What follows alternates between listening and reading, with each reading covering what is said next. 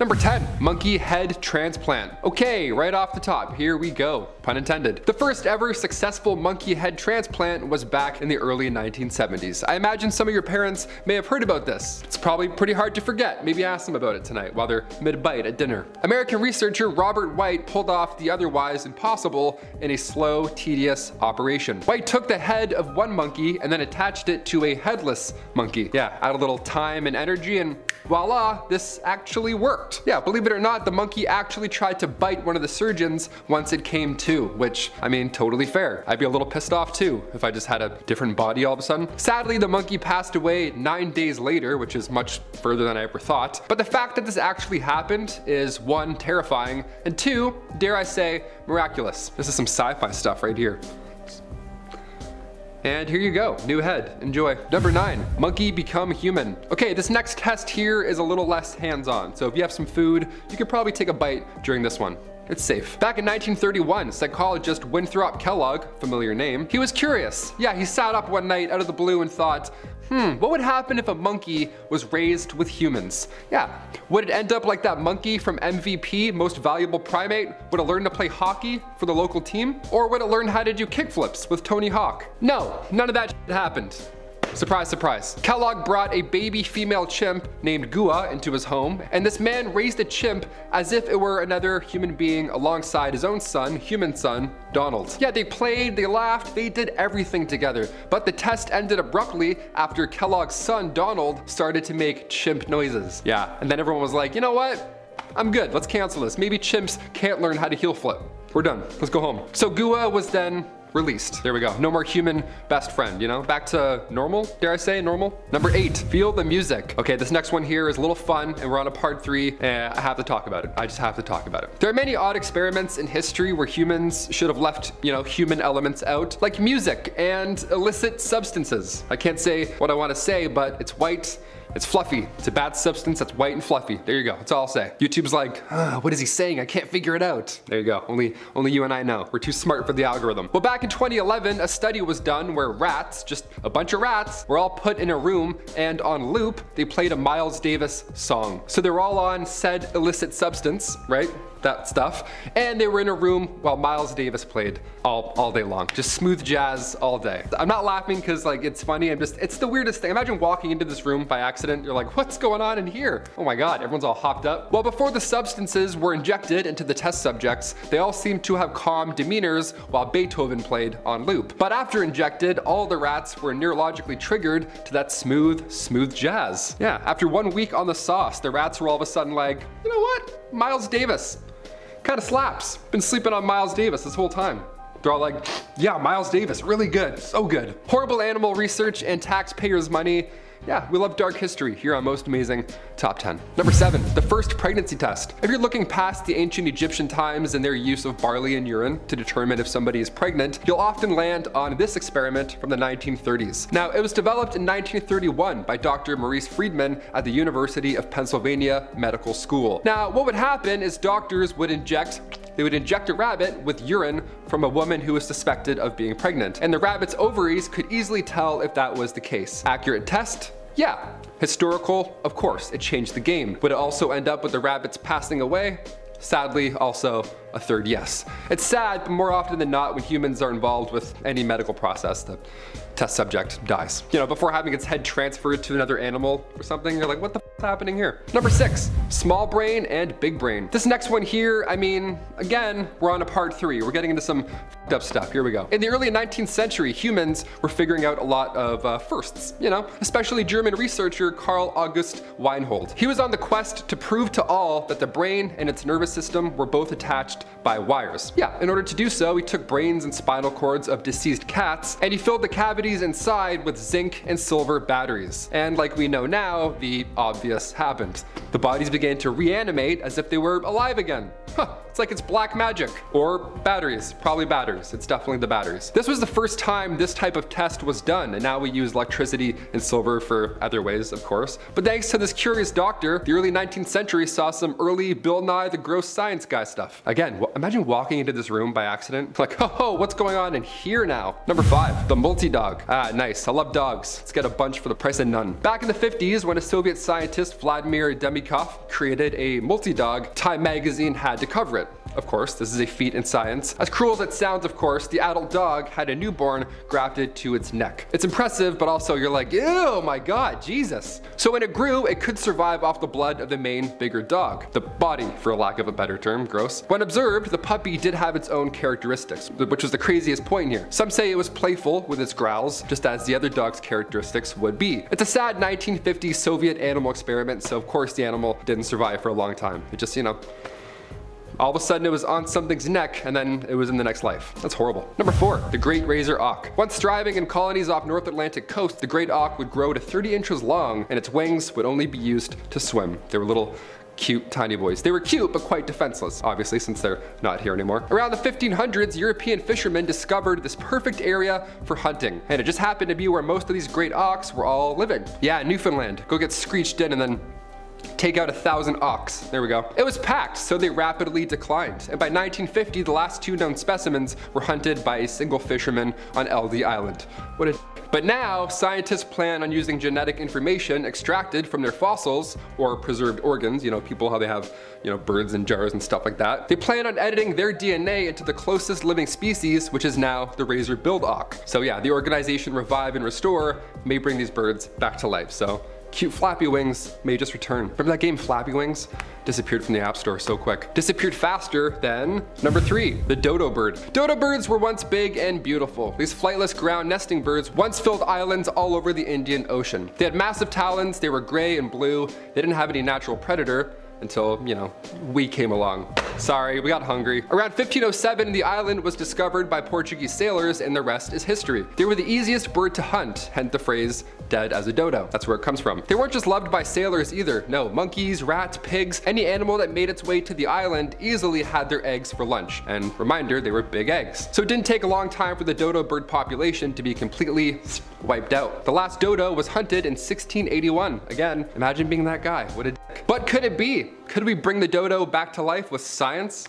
Yes, apparently, this could be a real thing. Scientists found an extremely well-preserved dodo skeleton back in 2007, so we may have a chance at picking some DNA apart. A research facility near Melbourne, Australia is currently trying to use pigeon genes and we're gonna see them in the sky. I mean, I'm all for the idea of bringing back, you know, animals and stuff. Scientifically, that's a wonderful feat, but do we really think no one's gonna make dodo bird chicken wings? I'm gonna get that on Uber Eats in a year. I can just smell it. Number two, the gastric brooding frog. Crossbreeding and gastric brooding. Nice, we're getting close to the end, it seems. I'm a big fan of frogs, and the gastric brooding frog is particularly interesting to me and also scientists due to their birthing process. If you're eating something, now would be a good time to you know, hit that thumbs up, maybe take a break, put that food to the side for a bit. See, these frogs back, you know, and when they were alive, they would swallow their eggs and then they would hatch them later out of their mouths. Pretty, pretty horrible if you watch that in time lapse, I bet. They're fascinating creatures. And with the Lazarus Project, scientists are actually trying to bring back the Australian gastric brooding frog from extinction. So we might see this horrible act in person. You might go to catch a frog and then all of a sudden it'll be like, Wah! and then a baby will come out of it and you'll be like, all right, I'm all set actually, how about that? They went extinct back in 1983, but scientists have figured out how to implant dead cells into a fresh egg from an entirely different frog species. Amphibians are declining worldwide, so if we can get these guys back out of extinction, it would be one point for Gryffindor. We'd be looking a lot better, that's all I'm saying. And finally, number one, Martha. Look, I like to keep it light, so I have to end with my girl, Martha. The passenger pigeon once flocked over the skies of Canada. This was the 19th century, and it looked a lot different. Billions of these bright orange birds would just paint the skies, and rumor has it, they would fly in flocks so large that it would block the sun out for a short amount of time. Wow. Hashtag flocks that block. We love it. But only a few decades passed and the passenger pigeon, just they're, they're gone, just like that. They're no more. So what exactly happened? Well, the very last passenger pigeon, her name was Martha. She sadly passed away in the Cincinnati Zoo in 1914. So we took a look at her DNA to see if Martha held any secrets to her past and their extinction, and we found a couple. They discovered Martha had a low genetic diversity for such a growing population. Natural selection and hunting eliminated the nicest looking pigeon, arguably. The last one died in 1914, but in 2019, paleontologists found remains of the pigeon in protected indigenous lands in the Northwest Territories. So now they blended passenger pigeon DNA with dinosaur DNA, so that's always exciting. We've seen a few movies on how that can go wrong. We're bringing back pigeons with a touch of dinosaur. I'll say it again, on one hand, I'm glad science is allowing us to, you know, try again, have another go, but look at the pigeons we have now. Those pigeons are hardcore. These things will walk onto the subway with you. Pigeons today will ask you for change. They're ruthless. They're covered in mustard. It's not the same. These graceful birds from the 1910s, I feel like we're bringing back Captain America. You know what I mean? I don't think these old school chaps will appreciate the new game of pigeons. They're a little dirty. I don't know. I don't think they're ready, and I don't think we are either. In our ninth spot today, we have the human mouse. Mice are constantly being experimented on in labs. This time, scientists in Japan tried to create a human mouse. Basically, they injected a mouse with human stem cells. They did this in an attempt to grow a human pancreas in the animal, but due to backlash, they have certain rules in place. At any point during the experiment, if the mouse is said to start developing a human type brain, then it has to be killed and the experiments have to stop. Thank gosh though, because uh, I'm not trying to have the world ruled by weird mutant human human mice. No thank you. In our 8th spot today we have the mice with human brain. So I know I just finished saying how the mice were killed if any human DNA was found in the brain, but in 2005, a professor at Stanford University was given permission to create a mouse-human hybrid. He did so by transplanting human brain stem cells into the brains of mice. Now, the main goal of his experiment was to be able to study neurodegenerative diseases like Parkinson's and Alzheimer's disease. Now, the first couple of rounds did not go so well. They found less than 1% of human cells in the rodent's brain. But by 2010, they found success. That's when they managed to, and I quote, use mouse stem cells to develop sensory hair cells which could combat human hearing loss. They also managed to make the mice more human, as in the mice with the human brain cells were far more intelligent than the other mice. In our seventh spot, we have the humanzee. Over the years, a number of scientists have run some wild tests on chimpanzees. Now what makes these mammals of interest to them is because of how similar they are to humans. Humans and chimps share 98.8% of their DNA, hence why scientists are trying to make a chimp-human hybrid. Ilya Ivanov was the first person to attempt to create a human-chimp hybrid. Ilya continued these experiments until the 1920s. During that time, the Soviet Union was also running running the same experiments. In 2019, rumor has it that a team of researchers from the Salk Institute for Biological Studies in the US successfully produced the first human monkey chimeras. So yeah, I don't really know how I feel about that. I don't know. In our six spots we have the Kunga. In the early 2000s, when scientists unearthed the Kunga skeletons in northern Syria, they had no idea what they were looking at.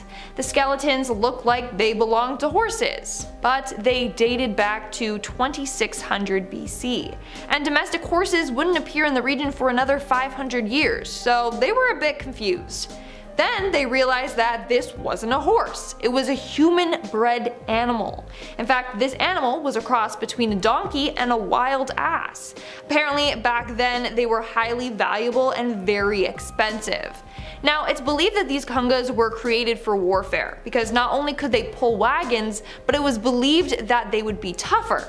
The thing with donkeys is that they would get scared easily and they didn't need their donkeys running off mid-battle.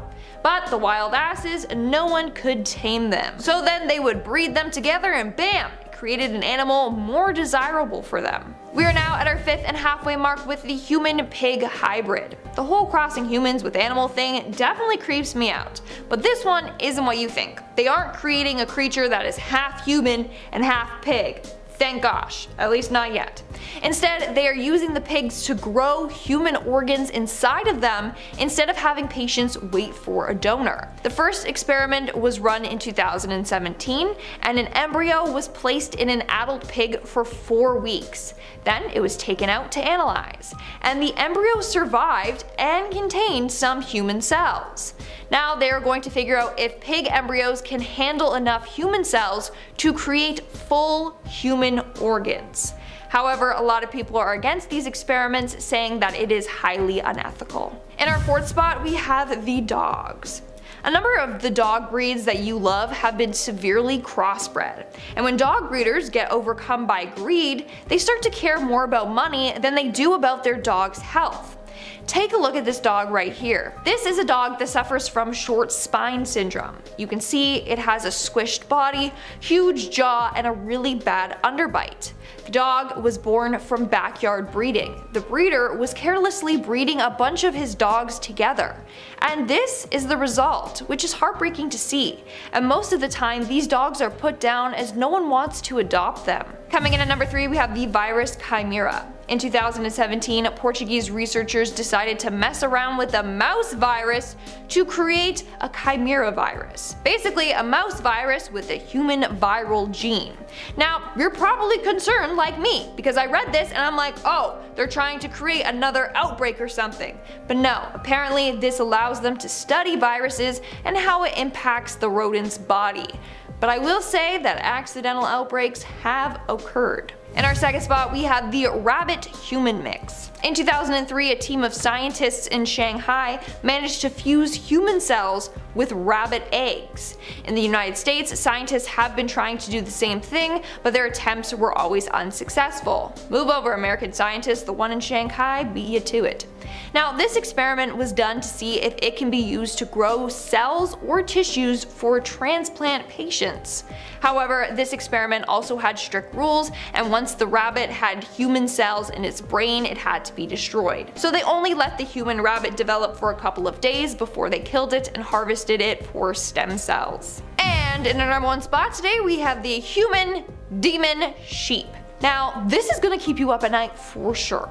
In 2017, villagers in South Africa were horrified when a sheep gave birth to something that didn't look like a lamb, okay? In fact, it looked eerily human-like.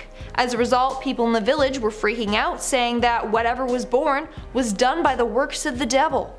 In fact, rumor has it that this lamb was created from someone injecting the sheep with human sperm. Now, the lamb was stillborn, so it wasn't born alive.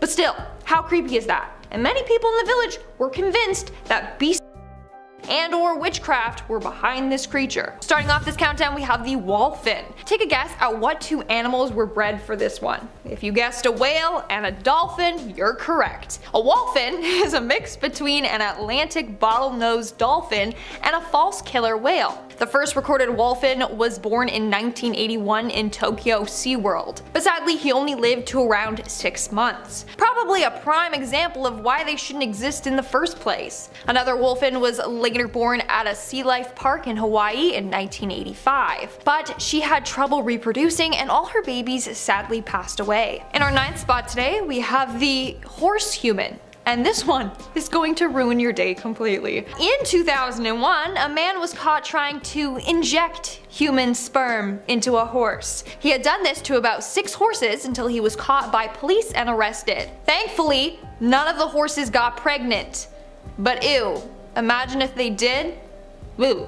In our 8th spot, we have the Iron Age Pig. Take a look at this porker, he is a chunky guy. The Iron Age Pig is a cross between a domestic pig and a wild boar. Now something about that cross just does not sit right with me. Now people like breeding these pigs because they can get a lot of meat out of them or just sell them for a lot. But they are considered very hostile animals. This is due to the fact that wild boars are typically more aggressive, and that's a dominant trait that gets passed along to their offspring. Moving on to number 7, we have the the infertile pink bollworm. The pink bollworms are invasive pests that lay eggs on cotton balls, and then once they hatch, the larvae eat the seeds and damage the cotton fibers. In 2005, the situation became so bad that scientists were like, okay, we gotta figure out a solution here. So they decided to create sterile pink bollworms. They did this by treating a bunch of moths with radiation. The radiation would damage their reproductive cells, but it wouldn't kill them. That way, when they encountered a normal pink bollworm and the two mated,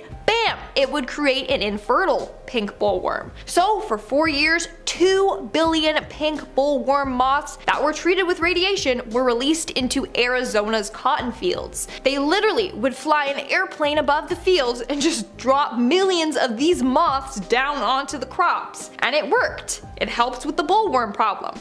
But imagine if their plan didn't work That could have gone really bad and damaged entire cotton fields. Coming in at number 6 we have the sheep with human livers. In 2007 scientists at the University of Nevada Reno managed to grow human livers inside of a sheep. They did this by injecting human stem cells from bone marrow into sheep fetuses. Now they chose sheep as their test subjects because their circulatory system is very similar to ours. In the end, they managed to create livers made with 20% human cells. They are hopeful that one day this can be used to help grow human organs for those in need of a transplant inside these animals. But anything done with animals is highly controversial, especially when it has to do with injecting them with human DNA and stuff. We are now at our fifth and halfway mark with the cows. I swear, no animal is safe out there, okay? Not even cows. In 2008, British researchers were given the okay to conduct some human animal experiments. As part of the experiment, they decided to manipulate cow eggs. So they took the nucleus of the cow egg, which has the source of the most DNA, and they replaced it with the nucleus of a human cell to create a growing embryo. They then watched the egg develop and multiply. Scientists could then extract the stem cells from this. They hope that one day they can use the stem cells in disease treatments. Moving on to number 4 we have the Jeep. And I'm not talking about the car Jeep, we're talking G-E-E-P, okay? A mixture between a goat and a sheep. Now these animals are adorably cute, but sadly breeding the two can be a very risky game. Very few babies are actually carried to term, and even few manage to survive birth. Those that do often have a bunch of genetic abnormalities. But people still cross them together, which is just sad, because you're breeding animals destined for failure, and for what reason? Moving on at number 3 we have the Jaglion. Can you guys guess what this animal is a mix between? It's kinda obvious. It's a mix between a jaguar and a lion. But these animals are actually naturally born, which is wild. Like, I just can't imagine a jaguar and a lion getting it on. So it first started when a lion and a jaguar coexisted in the same zoo together. They were raised together and well, one thing led to another, bada bing bada boom, mama lion became prego. I shared this love story in another video, but it's so cute but also sad, but I just want to share it again. So there once was a jaguar named Diablo and a lion named Lola. The two were raised side by side and they were inseparable. When Lola got mature though, they kept Diablo away from her so that they wouldn't mate. But whenever they were apart, both animals got depressed. It got so bad to the point where Lola wouldn't even eat. So they brought them back together and they were happy and eating and thriving again. You can't keep true love apart. And obviously one thing did lead to another and they did end up mating and they had two Jaglion babies together. And they all lived happily ever after. Coming in at number two, we have the goat human. I can't with this one okay? I just can't. But this image right here is said to be a picture of a human goat baby. Story goes that in 2016 in Alabama, of all places, a goat gave birth to an odd looking baby. In fact, its kid looked very human-like. So it's said that this goat was actually the product of a human getting it on with the goat. I know, I know it's disgusting. It's disgusting. I threw up in my mouth a little when I read that. But again, this is just a rumor. And in our number one spot today, we have the hybrid lions. Now, this is actually a very sad example of crossbreeding gone wrong. In 2006, nearly two dozen crossbred lions in northern India were dying after they developed a mysterious disease. The disease was a result of inbreeding and a weakened gene pool. Basically, they didn't know this, but they kept breeding lions that all had this weakened gene, and nearly 80 lions were affected by this. The lions being born had weak hind legs and had difficulty walking, and they couldn't run at all. They also had failing immune systems and they weren't living too long. But the worst part was that they let these animals suffer. There's a wildlife law in India which prohibits the killing of animals. So basically, they had to just wait for these lions to die a slow, painful death on their own. It's a very tragic case of breeding gone wrong. In our number 10 spot, we have Vladimir Demikhov. Vladimir is a scientist from the Soviet Union that tried to create a two-headed dog. Not making this up. Not in the regular crossbreeding way that you may assume, he literally amputated the body of one of the dogs and attached it to the other. this honestly makes me sick to talk about. The dogs only lasted four days before passing away, and guess what? He did it again. He did it again. The next experiment ended up with two dogs living for about a month. But guess what? He literally had no purpose for these experiments. Just the ego satisfaction of being able to say that he did it. Well, thankfully he didn't because he doesn't deserve any satisfaction or praise. Just gross. In our number 9 spot we have Paracelsus. Paracelsus is known for being a Swiss physician, scientist, and alchemist in the 1500s during the Renaissance. He didn't necessarily experiment with crossbreeding humans with animals, but he did experiment with making humans tiny and ginormous. Also, he was seemingly evil slash insane, so I just wanted to put him on this list. Paracelsus was convinced he could grow giants and tiny humans by growing them from a jar of Yep. Apparently he would keep the jar in a warm place and feed the creatures blood to make them grow. I can just see him sprinkling in some blood into that jar. Apparently he was quite successful and managed to grow tiny humans, but allegedly the small creatures turned on him and ran away. Naturally. They were said to be a foot high. In our number 8 spot we have Irving Weissman. Irving Weissman was working at Stanford University as a researcher when he was given permission to inject a mouse with human brain cells. They just wanted to see what would happen. They were instructed to stop the experiment once the human-like behaviors got to a specific point like improved memory or problem solving, because then they'll have a pinky in the brain sitch and the concept of that only sounds good in the cartoon world. I'm not ready for a mouse world takeover anytime soon. In our number 7 spot we have Gordon Gallup and his team of scientists. Okay, so not saying Gordon Gallup is the evil scientist, but more that all of the scientists that consented to do this in the first place may have been operating from an evil frequency. Or perhaps they were just doing what they were told because it's their job, because let's be real, the real powerful people that make the decisions are the ones funding such projects as these. But since I have no idea who funded this, as that would probably take too much digging that I don't have time for, and it will probably just lead us to the US government, we're going to just call this spot Gordon Gallup and his team of scientists. Gordon Gallup was once one of the leading experts in evolutionary psychology and he worked with a team of scientists in the 1920s on interbreeding humans with chimpanzees. He leaked to the press that they were actually successful. The experiment was conducted at the Orange Park Laboratory in Florida. Everyone proceeds to Google the financial backers there. This is where a female chimpanzee was inseminated with human the animal not only became pregnant, but then proceeded to give birth to a living being, a humanzee. But get this, they did not allow the humanzee to live. After all of that, it was euthanized. What the heck, man? Potentially harmed this animal by impregnating it only to kill its baby cub. My inner future mama bear is poking through and I don't like this. In our number 6 spot we have another group of scientists, the Belgian scientists. It really is so hard to name just one scientist responsible because it really does take a village to raise a child and in this case to create a mutant cow. Yes, a team of Belgian scientists started back in the 1800s to breed native cattle with shorthorn cattle and over time they only selected the biggest and strongest and eventually that led them to creating the Belgian super cow. A ginormous cow that literally looks like it's on steroids and I'm kinda afraid of it. I'm, I'm very afraid of it. It is unclear why these experiments were being done. I can only assume for more meat. So I guess we can't call these scientists evil per se without a justified reason, but hopefully they have a good one because otherwise, leave those cows alone.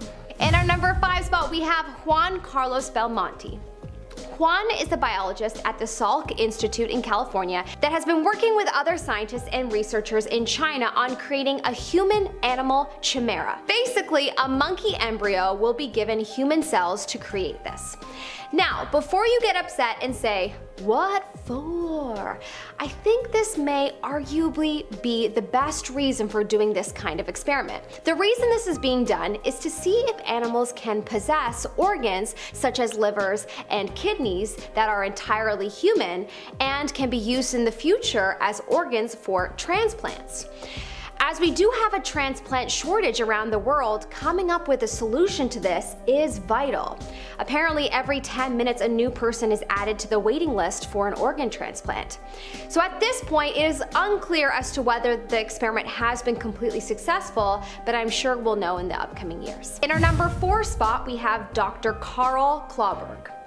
This guy is truly very evil. He was a doctor that would work in the infamous monstrous camps that I cannot name due to YouTube violation reasons, so please catch my drift.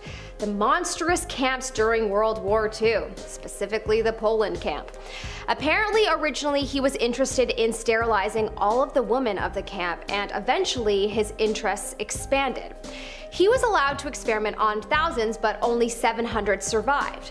He also artificially inseminated prisoners through a variety of methods and tormented his victims by claiming to have injected animal into their womb to create a monster. There are no reports that confirm this to be 100% true, as well as there are no reports of the after effects of this, so we have to conclude that this horrible, uh, unconsented experiment was thankfully a failure. Just pure evil. In our number 3 spot we have Hiromitsu Nakauchi.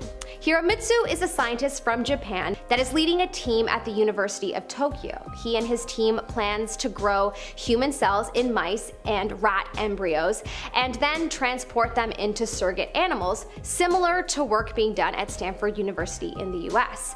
The goal is yet again to continue to see if animals can produce human organs that can later be transplants for humans. Up until recently, Japan was very strict as to how long the human cells in the embryos were allowed to be kept alive till. But recently the laws changed and they're allowed to be kept until the animal is brought to term. Whoa. This will help so much in terms of what they will be able to find through studying this process, but of course there are many ethical concerns around this experiment such as once this new animal is brought to term, then won't it be a baby? Some claim that this is pure evil to then destroy this baby after, but gosh, I wonder if the decision maker of these experiments struggle with this, cause I definitely would. In our number two spot, we have an unknown evil scientist that created the human sheep. In 2017, villagers of a small town in South Africa were frightened when a local sheep gave birth to a human sheep crossbreed. This is truly terrifying stuff that will haunt your dreams. Like terrifying. It will definitely haunt mine. Imagine human sheep wandering the world. No thanks. Clearly this experiment was done by some evil scientist that decided, heck, I'm going to just let this happen and see how it unfolds. No one knows exactly how it was done, but most think the sheep was just artificially inseminated. The baby born was a stillborn, but if it had made it out alive, I bet you the world would have been on the hunt for the person responsible. In our number one spot, we have Ilya Ivanovich Ivanov. Known from his title, The Red Frankenstein, who was said to have been the creator of artificial insemination. His interest eventually turned into being interested in crossbreeding. In the 1920s, he traveled to Africa after already successfully crossbreeding a zebra and a donkey, he now wanted to crossbreed a human and an ape. Apparently, after a while of living in Africa, he became desperate as his funds became increasingly low that he then began to inseminate African women with chimpanzees without their knowledge. Holy, that's disgusting. Eventually, when people found out about what he was doing, he was shut down and his name was forever tarnished. And yeah, I'm glad because that's horrible. Starting off our list at number 10, new bees. Great, sick of the old ones that sting you in the neck and then you're allergic? We got some new bees now to worry about. Here we go. A lot of us know bees are pretty harmless and kind of cute, hairy little pollinators. Unless, of course, like I mentioned, you're allergic or terrified of them. But truthfully, bees normally do a lot more good than harm. Obviously, right? Save the bees. That was, of course, until an experiment in the 70s went south. Yeah, this experiment resulted in a new bee, just a dangerous bee. The idea was to take a regular honeybee and breed it with a bee that is found in Africa that produces more honey. And of course the goal was to produce a manageable bee that would also be able to provide more honey than a regular honeybee. Good stuff, right? On paper this sounds like a step in the right direction. Well the bees that came out were a lot less manageable and they didn't even make more honey. Yeah, liars. You're fired, all 1,000 of you. Get out of here. After this experiment ended, however, the bees got out into the environment, and in the 80s we saw the beginning of a massive trouble. These bees are not only aggressive towards other kind of bees, which creates a huge problem, but they're also very aggressive towards human beings. Nice. And when these guys sting, their stinger stays with them, so they can you know, continue to Julius Caesar you how many times they want. Victims of these swarms receive 10 times the amount of stings as regular swarms, so Horrible, horrible news. And they react to disturbances 10 times faster and they will also chase said disturbance a quarter of a mile. So hope you can run really fast and really far. Number 9. Wholphin. These guys were created when a female common bottlenose dolphin was bred with a male false killer whale. Now we shouldn't be doing this. They're extremely rare and they have been found in the wild, but unfortunately most of the ones that have existed were bred in captivity because humans are the worst. The first recorded wholphin was born in the Tokyo SeaWorld in 1981, and he very sadly died just 200 days later. Didn't even make it one year. Horrible. Probably a prime example of why they maybe shouldn't exist in the first place. I don't know, just a wild observation. The first that was born in the United States that actually somehow survived was at Sea Life Park in Hawaii in May 1985, and her name was Kekamalu. She ended up having three babies. The first passed away after a few days, the second passed away at the age of nine, but thankfully the third one is still alive. In March last year, both Kekamalu and her daughter were still alive, but they remain, of course, in captivity, so it's like, great but not, really not at the same time. Number 8. Farm cattle. Back in the 90s, farmers in India were told that if they crossbred their cattle, they'd be able to breed cattle that could produce more milk, which in turn would mean more money for them and their families. Awesome, this should be amazing and great news, right? Well, considering why we're here watching, I don't think it's, uh, it's gonna end the way we think, no. Different breeds of bulls were brought in and farmers were expecting great results, but they ended up being stuck with cattle that did produce more milk, great, but they also needed way more food. They needed high quality food as well, or else they'd stop producing more milk and they were less resistant to the local diseases, so they required more veterinary visits. So it cost them more money, you know what I mean? Yeah, we got more milk, but we have to spend more money on maintaining the damn thing. It's not a win. It's not a win in my book. Number seven, old Buffalo Jones. Here we go. A guy named Charles Buffalo Jones. Let's talk about him. This man started breeding animals in 1906 because the bison population in Arizona at the time was exceptionally low. So bison were bred with domestic cattle in order to produce a hardy commercial animal. Nice. Old Buffalo Jones getting his science on. He ended up just giving up on this and released the animals who were then managed by the state, and the numbers remained relatively low because of limited hunting licenses. Well, when the beefalo, good name, found their way into a national park where hunting is banned and therefore aren't any you know, natural predators, the population began to grow by 50% a year. That's a lot of beefalo. So none of this is necessarily bad, but it's the animal's environmental impact that has the real trouble. First off, they're very thirsty animals and they can consume 10 gallons each per trip to a watering hole. So they're sucking it all up, you know what I mean? It's like when you're in school and you're waiting for water and the guy in front of you just keeps drinking, you're like, oh my god, what are you doing? Where is this going? Not to mention the fact that they do their dirty business in the water and that basically just ruins it all. Basically, they've thrown the entire ecosystem off balance and have pushed out other animals and insects and plant life around have also been infected, all because they're thirsty and they like to take big where we all drink our water. Thanks, Beefalo. Number six, hybrid lion. Back in the 1980s, at the Chatbir Zoo in Chandigarh, India, they started an experimental program where they would breed together a domestic lion, which is a bit smaller, has a less shaggy mane. They would breed that with an African lion in the hopes that they could be introduced to the wild and help with the dwindling population of wild lions in India. Again, sounds like a great plan at first.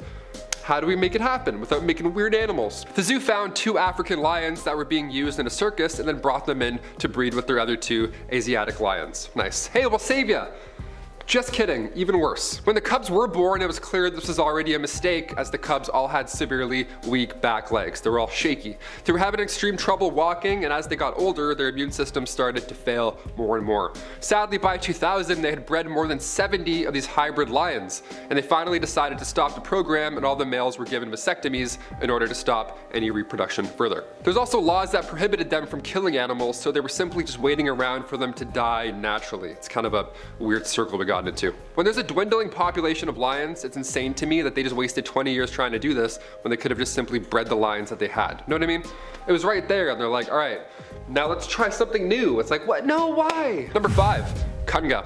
Perhaps the earliest example of human-animal hybrid testing, here we go, halfway through, time to turn it up a bit. Scientists recently learned about this donkey hybrid that roamed ancient Mesopotamia. Now this was a time before even horses arrived, so they had to do something, right? Large kungas would pull wagons and smaller ones would help pulling plows. These little guys, they were the talk of the town. Imagine hybrid animals before horses. No wonder they were a status symbol. 4,000 years ago, they were given as gifts for weddings. Yeah, yeah, yummy. I wonder what this one is. Smells a little stinky. After so long, scientists are finally able to figure out what exactly a kunga was a hybrid of. It was a female donkey and a male Syrian wild ass. Yeah, just a wild ass over there. Hey, nice wild ass. It's wild what you can still learn from ancient animal bones from even thousands of years ago. It's mind-blowing. More amazing how involved this hybrid was in Mesopotamian culture. Do we bring back the kunga? I don't know.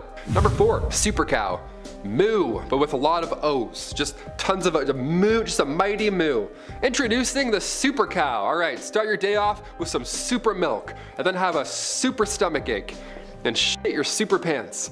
Only in Belgium, let's do it. Back in the 1800s, scientists and farmer brought together native cattle and short-horn cattle. After that, they would literally pick the biggest of the bunch and then have them breed together. These cows are officially called Belgian Blues but I will continue to call them super cows. Thank you very much.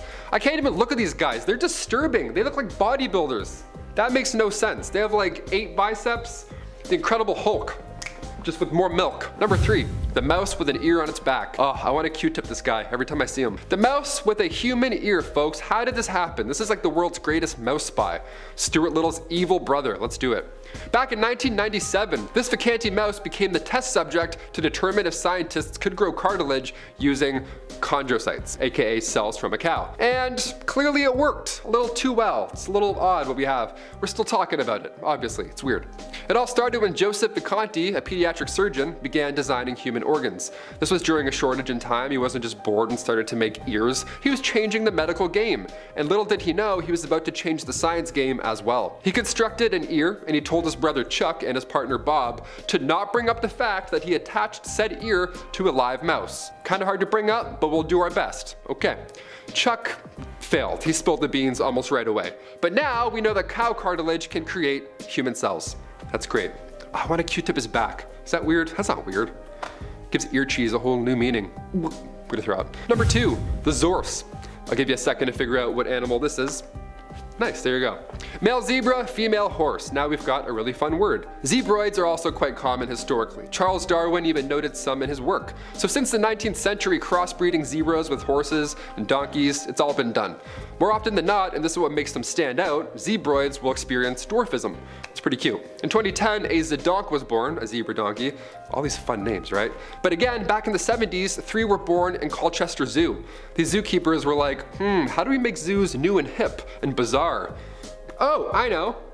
Humans are not great. Humans are too bored, it seems. Starting our list off at number 10, Ilya Ivanov. Beginning in the late 1800s, here we go. Soviet biologists, they actually got permission from the country to breed hybrid ape humans. What did you get up to last summer? I'll never tell. She grafted an ovary into a chimp and the goal was to fertilize Nora, the chimp, with human DNA. So they inseminated a group of chimps. None of them got pregnant, so instead they tried to flip the project up. Now this time they had a human inseminated with the DNA of chimps. Yeah, the other way around. The, the, the volunteer number was low, obviously. Now before anything actually happened, this would have been an absolute train wreck. Before the project was underway, he was sent away to Kazakhstan. So we didn't get any more science projects after that point, thankfully. Yeah, let's just leave uh, monkeys alone. Number nine, human monkey hybrid.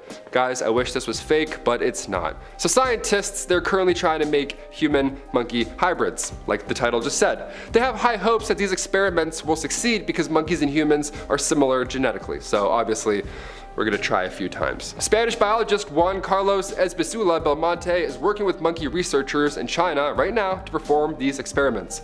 So basically they're mixing human cells into monkey embryos and then just, they're just gonna see what happens, I guess. I don't know. Hope it goes well. Their objective is to grow a monkey whose organs are completely made of human cells. Doesn't that sound just terrifying when I say it out loud like that? Then they would use said animals and their organs for people that need them. Yeah, of course this is a little bit controversial in a few ways, so let's just keep moving on. Number eight, Jose Delgado. Okay, we're talking about mind control, so give you a moment to put on your tinfoil hats. You might need those for this one. In the early 1900s, Jose Delgado graduated from the University of Madrid. Even lands a professorship at Yale University, but his mind, the whole time, his mind was focused on others. He had other ideas going on. He was committed to mind control, and his go-to method was implants. Yeah, electrode implants, first used with, you guessed it, primates. Yeah, three for three. Weird. He would use a remote control to make them do certain moves, even, you know, moving on to mind controlling a bull. So he was kind of changing the animal game up as he went. He liked to improvise. He got in the ring with said mind controlled bull, but then oddly enough, the bull was calm. It didn't attack. That's weird. Almost like there's an implant in his brain and he doesn't want to do anything. Reports say he stopped the bull last second before it charged. I call bull I say there's a thing in his head and he wasn't sure what was up the entire time, little poor lad. And then next in the project line came the people. 25 people were tested on with said mind control device. Yeah, by electronically controlling the brain. He believes armies could be controlled down the road and until his death in 2011 he was upset that he wasn't cited as often in terms of mind control project in recent studies. Yeah, weird. Guy who mind controlled animals in the 1900s. We're trying not to do that maybe. I don't know. That's why we're not talking about you. Number seven, see-through frogs. Here we go. Just when you thought frogs were already hard to spot, boom, now they're invisible. Good luck catching them. Back in 2016, through artificial insemination, scientists successfully took the DNA of two kinds of recessive color frogs, black-eyed frogs and gray-eyed frogs. Then they combined them together to create a frog whose skin is now always translucent. They made, a, they made an X-Men of a frog. We love it. The see-through factor allows observation of organ growth or cancer formation. That's the human science thing. And it kind of helps when you can see the problem, I guess. No dissection needed for further study study, right? Just, just looking, just looking through you. That's pretty uh, intrusive. I don't know. Imagine being see-through all the time. Like, hey pal, my eyes are up here. Quit staring at my pancreas. Number six, Tigons. Let Tigons be bygones. Let's never do this, ever, please. I was gonna say liger, but that's been used before. We all know what that one looks like. Tigons were a real hybrid animal that you could see for yourself at both the London Zoo and the Manchester Zoo at one point in history. This was, of course, back in the late 30s, where folks didn't bat an eye towards these kind of projects or these kind of things. Yeah, step on up and see the Tigon, a tiger head and a lion body, and a tiger tail, all together to make a big old pile of holy yeah, that's what happens when you put animals in the same cage. Sometimes they get along a little too well. Tigon hybrids were seen long before the 90s as well. In 1837, for example, Queen Victoria was gifted a Tigon. That's odd. They're like flowers or a hybrid creature. What do we give the Queen? Number five, DIY. Not sure how many times I have to say this in life, but don't try any crossbreeding at home, or ever for that matter. Thanks, keep it up. Because things obviously go south. For example, back in 2010, a woman named Julie Leroy, she was working as an animal control officer when an owner of a pit bull puppy said she didn't want to keep her. Okay, this happens often, but when Julie saw the dog, she was in complete disbelief. She was like, yeah, I'll take this living animal. I'm not a monster. I can commit to this for sure, thanks. People who abandon animals also, you're the devil. Don't do that. This dog, it was a hybrid animal. It wasn't healthy, but all the more reasons why you should stick around. The dog had a squished up body, a huge jaw, and a bad underbite, and it was oddly shaped. But you gotta love him still. Look, he's so cute. God, I want him. Little bread dude. That's because the dog suffered from short spine syndrome. That's because they got the dog from a backyard breeding place who was carelessly breeding a bunch of these dogs together. Just no effort at all, no care. Thankfully, Julie did bring the dog home and gave her a loving time. Sweet little thing. Olivia and I want a dog so badly. I would definitely take this little hybrid lady in a heartbeat, for sure. A little bread bed for. Oh, I love dogs, even if they're, you know, hybrid and created in a backyard. Number four, glowfish.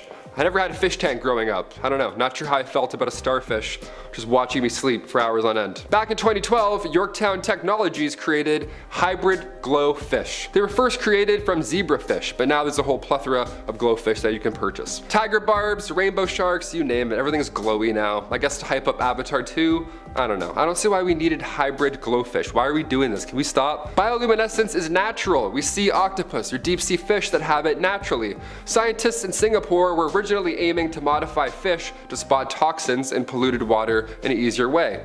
Cool. But on one hand, you're like, oh, these fish are pretty beautiful. They're glowy. Can I have one, please? Alan Blake, co-founder of said Yorktown Technologies, wanted them to glow only when near toxins. Now, this was back in 2003 when they first started. Guy wanted real-life notifications in the water. Cool. Today, we're at a point where glowfish are just being sold to houses for reasons.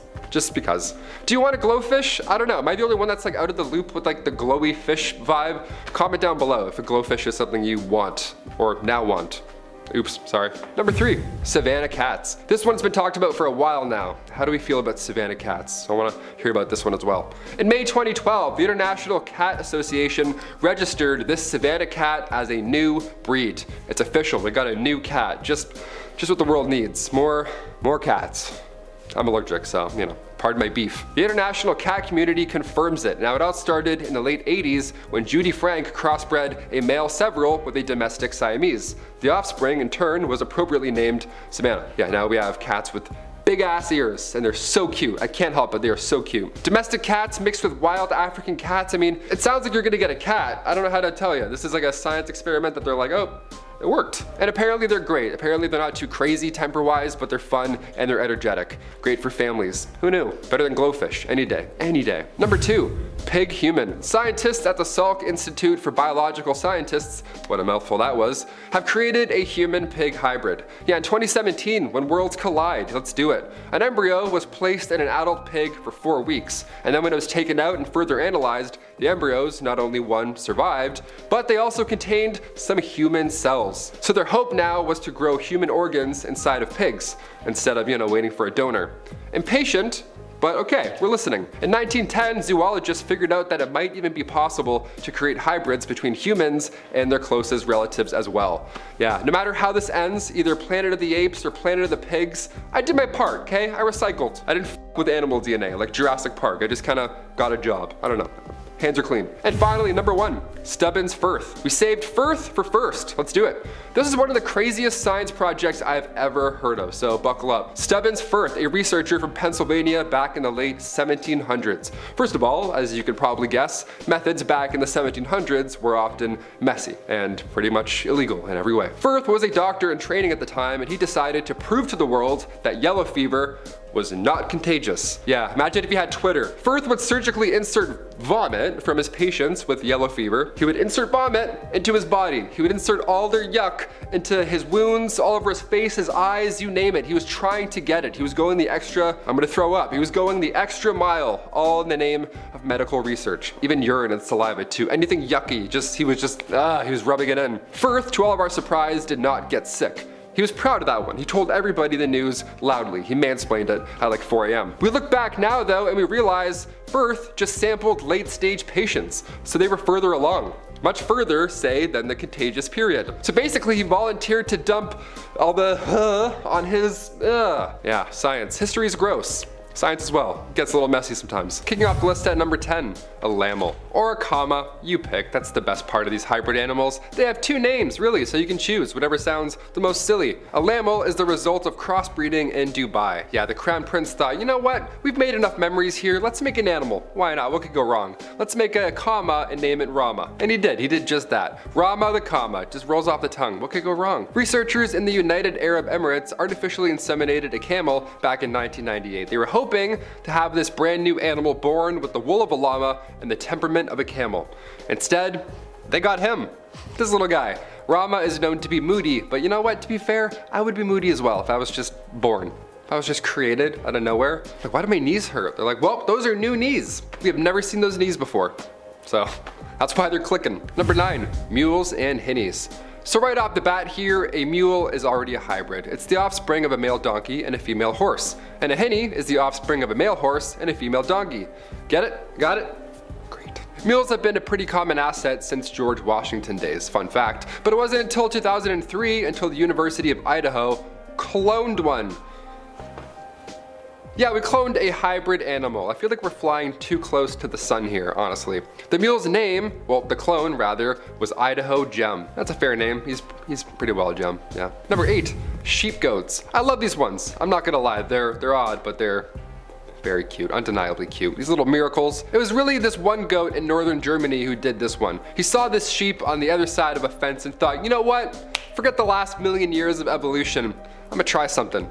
I'm gonna go talk to her. Let's see what happens. She goes to another school. Let's see what's up. I'm gonna be brave. You hopped the fence, went over, got some phone numbers, had some dates, did some dirties.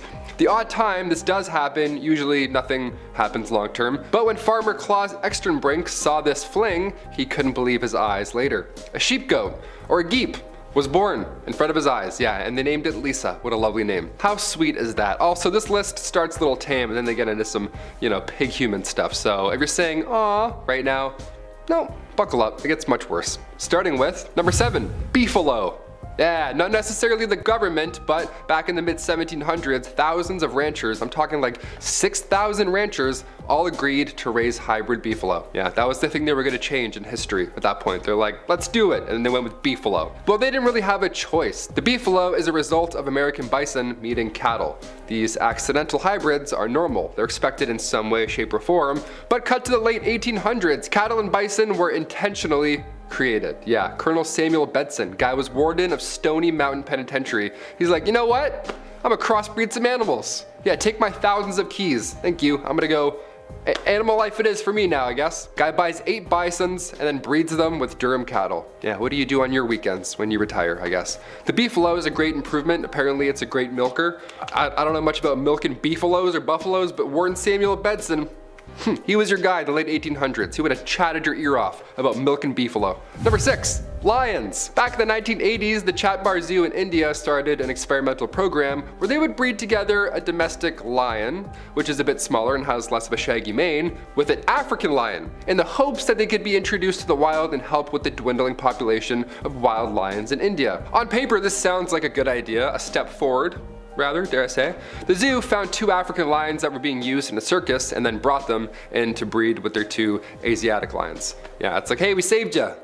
Just kidding, you're going to a much worse place. When the cubs were born, it was clear this was a mistake. Things weren't going well at all. His back legs were quite weak. They were having extreme trouble walking, and as they got older, obviously this got worse. Their immune systems started to fail more and more, and come 2000, they had bred more than 70 of these hybrid lions. They finally decided to stop the program, and then all these males were given vasectomies in order to, you know, prevent any reproduction down the line. But there were laws that prohibit them from killing these animals, so they were actually just waiting for them to die naturally, which is sad. You're like, hey, great law, but yeah, today, come on. When there's a dwindling population of lions, it's, you know, it's wild that they wasted 20 years trying to do this when, you know, they could have simply just bred lions that they had and then focused all their energy on that instead of creating a alien lion. But who am I? I'm just a YouTube host. It's probably harder than it sounds, but man, this stuff is, uh, it's pretty rough. Number five, Wholphin.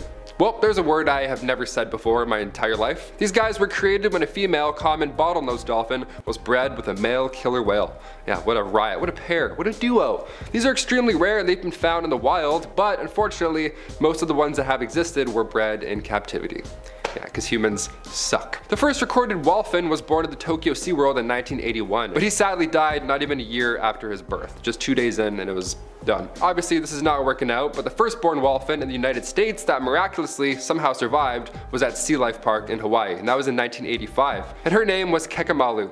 She ended up having three babies. She did survive. Now the first baby passed away after a few days, and the second passed away at the age of nine, but nine years old. This is already a massive improvement from what we've seen earlier, and thankfully the third one is still living to this day. Yeah, both Kekamalu and her daughter are still alive, but they still remain in captivity. Number four, farm cattle. In the 1990s, farmers in India figured that if they were to crossbreed their cattle, they'd be able to breed cattle that could produce more milk, which would of course mean more money, which is better for everyone and their families. Now this was an ideal step, right? What could possibly go wrong?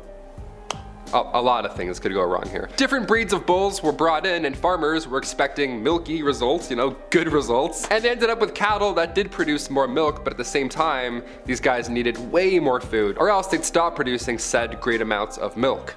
They wouldn't get milky results after that point. Plus they were less resistant to local diseases, so they required way more uh, vet visits. So yeah, they're producing more milk, which will get us more money, but they also cost us more money long term. So AKA, not a solution. Number three, dog mixing. Oh, this one's sad too. No more fun and games, no more milk and jokes, this one's wild. But this one is also a reminder that you can't just put any type of dog together and then just see what happens. Yeah, that's, that's not gonna fly, my friends. That's not how DNA works. I got the D, didn't know how to do the N or the A, really.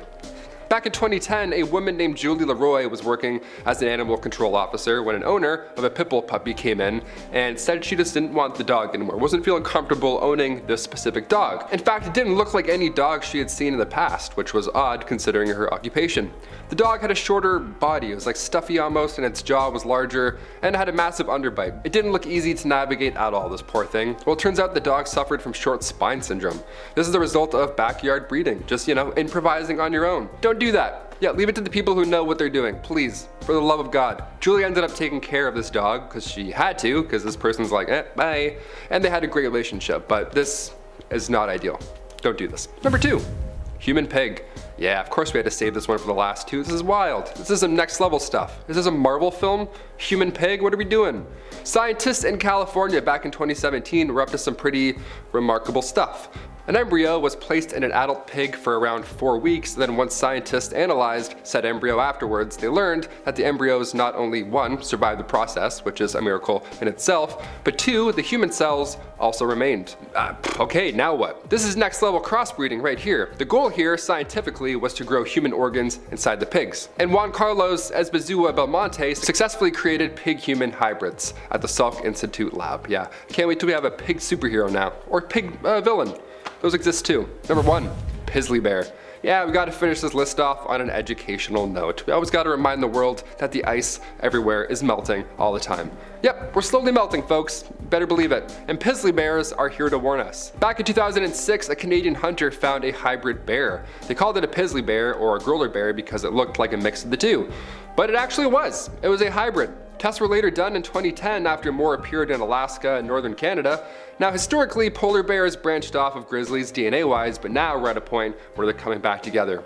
Why? Because everything's melting and food is becoming sparse. So now they're going further away to find food, and in turn, they're meeting each other, and then they're you know, doing the doing the thing. Now they're starting to merge back together. And in turn, we get these terrifying bears. We have some human hybrids, some some pig stuff, some some milk talk. This list was loaded. This is a loaded pierogi full of uh, crossbreeding facts. There you go. Just what you wanted to hear, I bet.